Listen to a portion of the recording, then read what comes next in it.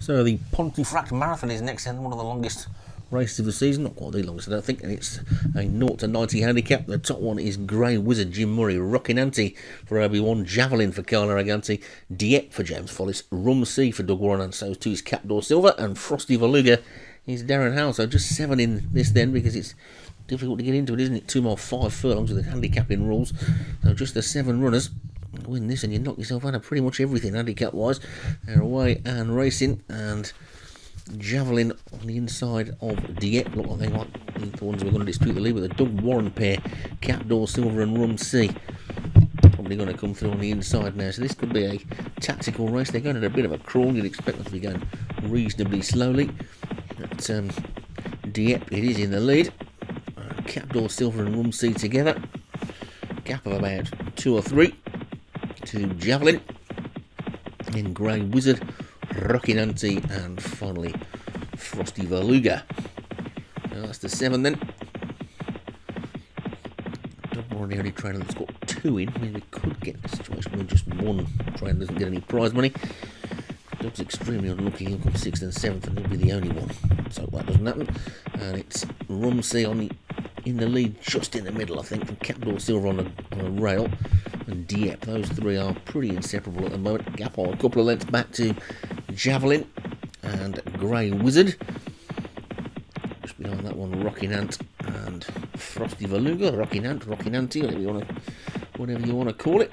And Dieppe is in the lead, just by about a head. two of these trainers are experts in these long distance races. James Follis and Doug Warren also um, Darren Howells at the back like to have runners in these big long distance races. It'd be a bit of a surprise to see a Jim Murray one in there. You'd expect him to be going more over the two and a quarter, two and a half, maybe two miles, go over the cup races, but maybe he's just snuck this one in at top weight. Chance to pick up a bonus win when it's Dieppe in the lead. I'm seeing Capdoor Silver, Javelin after that, then Rocinante, Rocinante, Grey Wizard is next, and Frosty Valuga the back marker. So no greys in this race, which is a bit of a surprise, and five virtual black horses. So a bit of a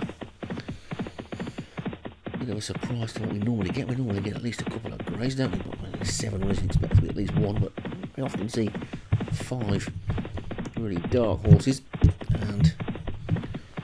enough, one of them's called Grey Wizard, one of them's called Frosty Valuga. I think they'd probably both be grey, and you'd think Capdoor Silver might be as well. So, commentator's life's never easy.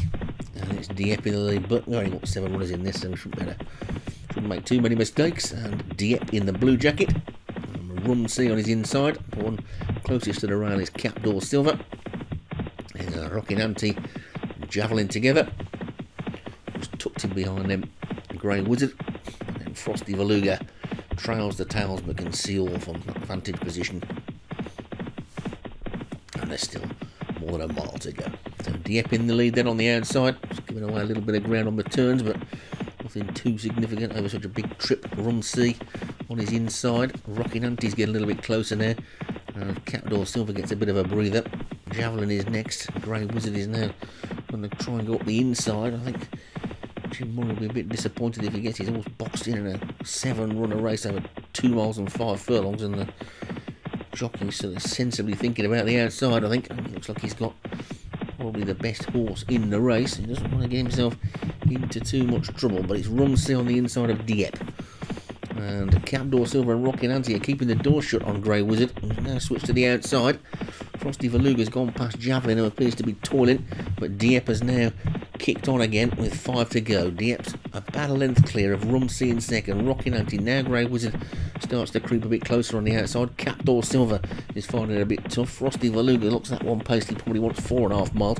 And Javelin is the back marker, but Dieppe's in the lead with Rumsey and Rockin' Rocinante, double handful on Grey Wizard in fourth. That's the one that your money will be on at the moment. Frosty Valuga and Capdoor Silver after that one. Javelin has gone right out of shot, but it's Dieppe in the lead then into the final three. Dieppe's clear by three to Rocinante. Grey Wizard now starting to get going. Then Rumsey and Capdor Silver. Frosty Valuga's next javelin somewhere, but it's Dieppe in the lead. Dieppe now being challenged by Rocinante as they pass the two furlong pole. Rocinante comes up to challenge Dieppe. Suddenly, Grey Wizard doesn't look to be going as well as he was. Then Rumsey and Capdor Silver, Frosty Valuga and javelin, but it's Rocinante who's gone for home and as they hit the furlong pole. And Rocinante has got a five length lead over Grey Wizard, and Grey Wizard is going to have to turn the table. He's going to have to do something pretty spectacular.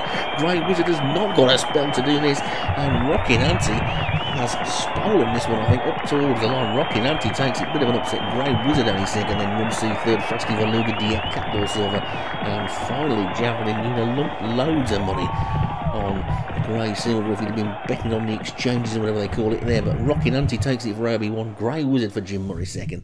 Frosty Valuga stayed on for Darren House to be third. Rumsey for Doug Warren fourth. And Dieppe for James Follis was fifth.